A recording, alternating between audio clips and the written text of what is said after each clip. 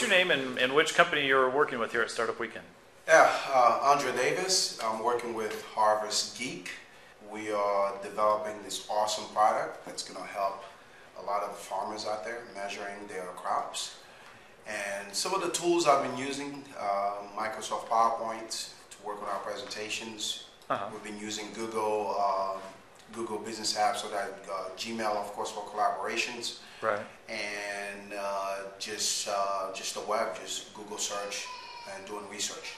What type of, uh, without getting into the secret sauce, what sort of uh, places are you finding good information from, or what are some of the good tools or processes that you're using to, to track down how this thing might work? Um, you know, I'm in the business business development side of things, and uh, also marketing and communication. So we're using uh, a lot of uh, industry trade websites Okay.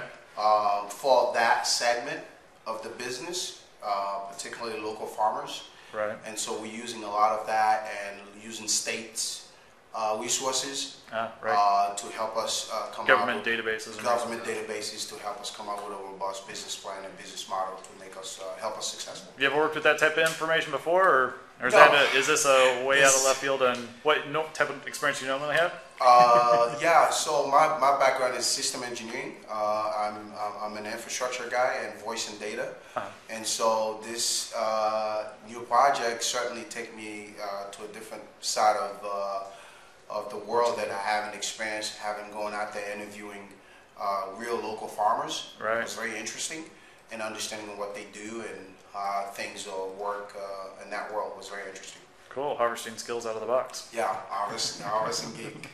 All right. Thank you much, and wish you luck tomorrow. Thank you.